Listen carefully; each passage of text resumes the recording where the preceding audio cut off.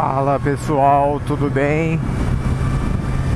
Espero que sim, faz tempo que não apareço. Vamos falar aí. Minha moto está acabando a garantia, acaba em dezembro de 2023. Devo continuar fazendo as revisões na concessionária ou em uma oficina de confiança? É. Então vamos lá. Eu já vou ser direto. Eu acho que é melhor fazer na concessionária. Hoje, os custos de uma oficina de confiança, de uma boa oficina, chegam a ser iguais ou até mais caros do que de uma concessionária. Então eu fiz essa pesquisa primeiro para ter uma ideia, né? Para ver o que que compensava, porque eu poderia muito bem pedir para a oficina fazer o carimbo da revisão no manual para dizer que eu cumpri aí com a revisão da minha moto e ter pelo menos um histórico de procedência dela quando for vender. Mas eu acho que nada é igual à concessionária, né? A concessionária, os mecânicos estão habituados todos os dias a mexer com motos da marca. Então todos os dias eles vão estar tá mexendo numa Z900, numa Z650, numa Ninja 400, numa ZX10. Então eles sempre vão estar tá mexendo todo dia.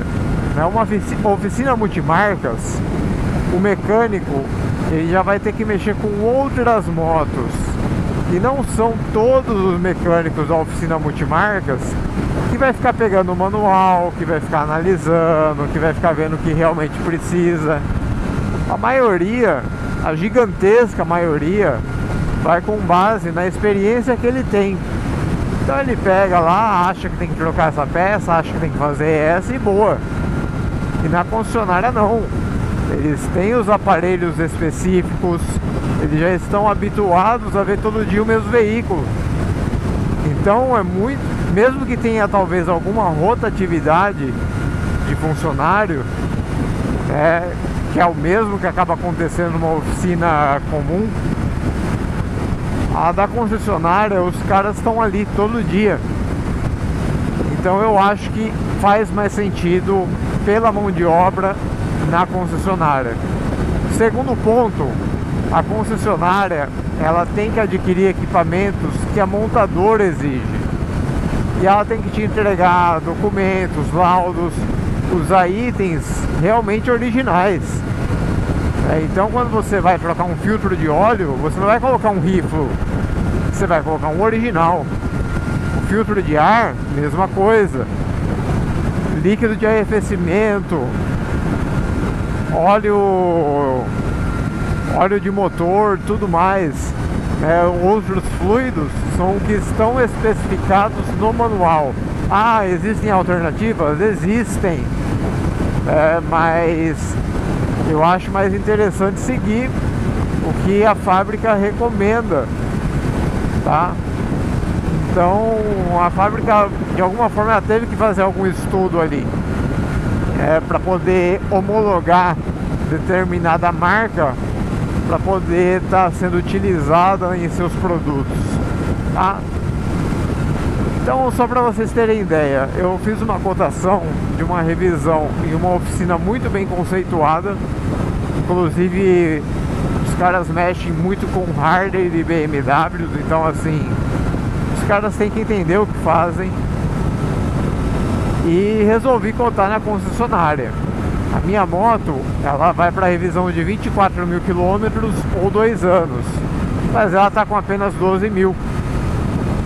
Então, nessa revisão, seja por tempo e alguns itens trocados por quilometragem, já vai ter que fazer a troca dos fluidos de óleo das bengalas, fluido de freio, óleo, é, é, líquido de arrefecimento, passar scanner, é, verificação, troca de velas.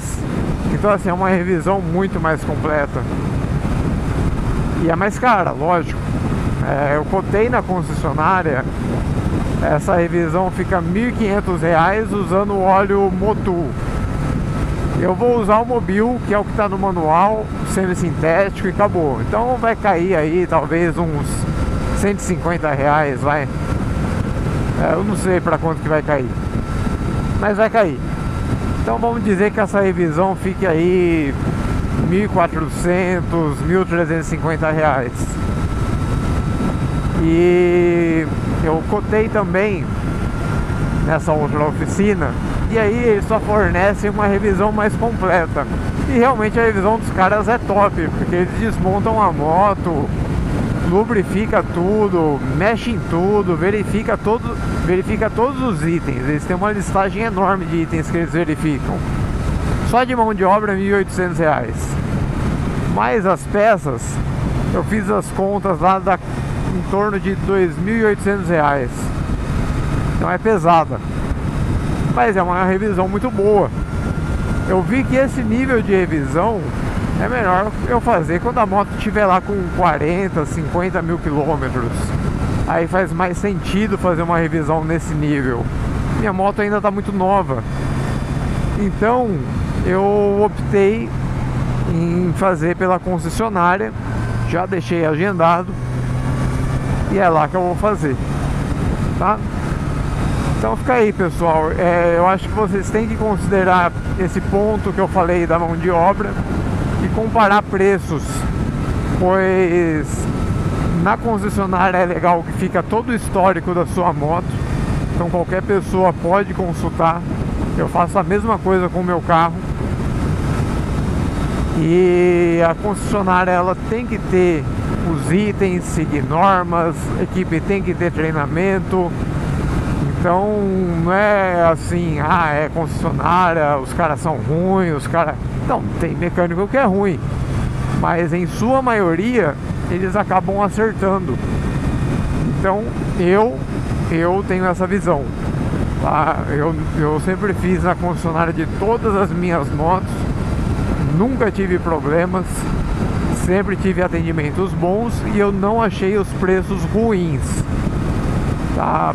Pelo que é feito, pelo que os caras têm que ter de estrutura, pela qualificação de mão de obra e pelos itens que são trocados.